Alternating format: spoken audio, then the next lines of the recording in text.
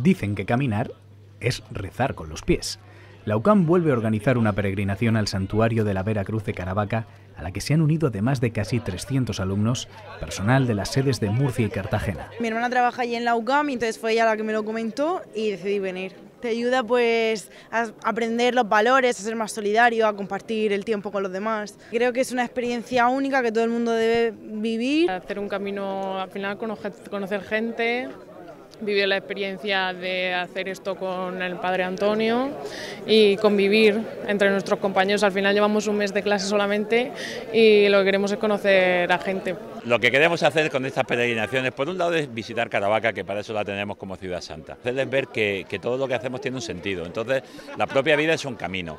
Entonces vamos a caminar un tiempo. En ese camino vamos con gente conocida y con gente que no conocemos y compartimos pues eh, las alegrías y los momentos duros de cada uno. Las expediciones de las dos ciudades se han encontrado en Cejín para enfilar la vía verde que les ha llevado hasta la iglesia del Salvador en Caravaca, donde han podido descansar antes de subir las últimas cuestas que les han llevado a la basílica donde les esperaban con los brazos abiertos. Es una alegría inmensa porque siempre hablamos de peregrinación y de visita, pero todos los que vienen aquí a, ver a la Santísima Cruz y ahora vamos a tener una celebración con ellos. Pues, pero en este caso yo creo que unimos la parte mística con la parte deportiva y con la parte de grupo, porque esto también es muy bueno. La UCAM, cuando hace esto también consigue que la gente se una, que comparta, que sea un día bonito y distinto de lo que es estar en clase. Conocen Caravaca, conocen la cruz, que al final el destino de peregrinación la Cruz de Caravaca, pero aquí siempre acogemos a todo el mundo y los que están de fuera de la región, incluso los de Murcia, porque no todo el mundo conoce realmente, pero los que vienen desde fuera se maravillan porque el entorno es, es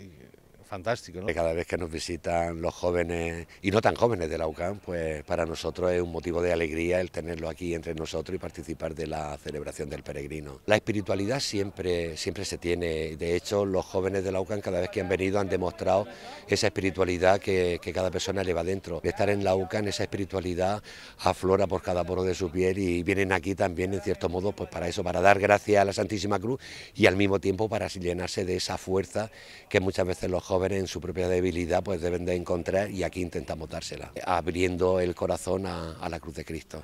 El pan y el vino hacen al buen peregrino.